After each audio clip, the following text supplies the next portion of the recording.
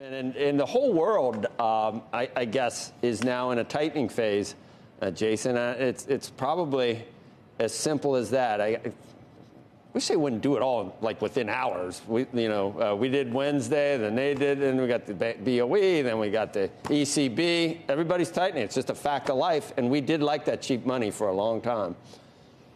Yeah, it's it's raining rate hikes actually, as turns out in 2022, right? And uh, ruining ruining everyone's World Cup watching. So what? it's the fun police from the Fed in 2022. I think it's worth noting a few things. Um, one, we actually think we're much closer to the end of that than the beginning. So does the Fed, for what it's worth. And the likelihood that you could see rate cuts in 2023 would really be the story that you look forward to then. Um, one other note it is global for sure, other than in China, which is a different story. Uh, what you saw in the ECB today, or yesterday, excuse me, um, was that when you're really, really late, like the Fed was sort of late, um, you run into this situation where inflation is so high that even when you start to predict recession, um, you still have to raise rates. So that's the real fun police.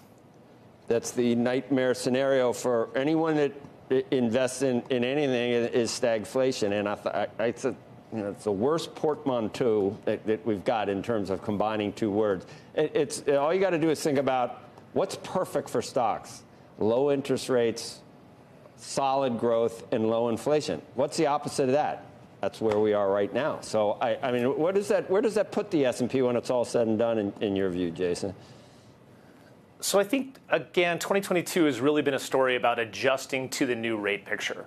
If you if you turn back the clock, the Wayback Machine, to all of a year ago, we were at zero, right? We were at zero all the way through March. So this has been an incredible adjustment period and extremely painful. Now, what you have to think about when you think about, say, a year ahead S&P forecast is really where our earnings going to be. So for us and for me, there's a, a real pro- probability of recession. That's actually consensus. Uh, but I don't really think you're going to get sort of a 10 times or 12 times multiple. I think it could actually stay a little bit higher. Um, and we've done a lot of adjustments. So I don't think you see a crash from here.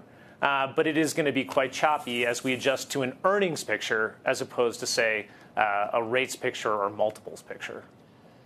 Jason, is it possible that, that, that the Fed or, or, or Jay Powell realizes that, that what he says can be very effective?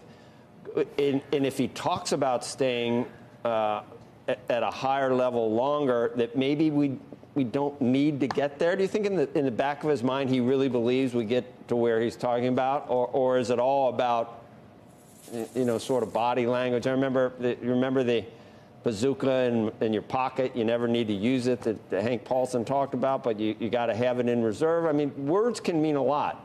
Does Jay Powell really believe we're going above five or even six percent? Well, the Fed actually seems to believe that we are going to five and a, a, a bit above five, and the real news for me from the Fed was the adjustment of the dots, of course. The statement was exactly pretty much identical. Um, but you went from having very few uh, uh, Fed uh, governors and, and, voters believe that you were going to be above 5% at the end of the next year uh, in September to having the vast majority 17 of 19. So that's a big adjustment. Uh, I don't think the Fed believes they're going to have to go much further than this. Um, and that's, again, part of their rhetoric. I think what they exactly are doing, as you say, it's a lot of performance art, right? We, we yeah. didn't care about the statement. Okay. The statement wasn't different. We yeah. cared about the presser. Right. When a small business goes to get a loan, I'd prefer that you know you didn't have to go as far as it said you were going to go. I wonder, are, are you as uh, as worried about inflation being deeply ingrained into this economy as the Fed is? Because that's the other thing. They, they didn't think it was deeply ingrained for a long time. Suddenly, oh my God, now it's like never going to go. I, that, that makes me wonder. You didn't know then. How do you know now necessarily? Is the labor market that different this time around, Jason? So I, I, don't think it is, and and for sure the the transitory the word transitory, uh, what what uh, Powell is trying to fight right now is to have that be in the first paragraph of his obituary, right? So fighting that really hard, and, and frankly, reasonably so. What you're seeing in inflation dynamics, which again, we got great data on just recently, is actually it's, it's rolling over in goods. The real question is wages and services. What you saw in the retail sales number was those are rolling over. What you see in PMIs, leading indicators, those are rolling over. The big problem the Fed has is jobs are one, a lagging indicator, two, part of their mandate, and three, very politically sensitive.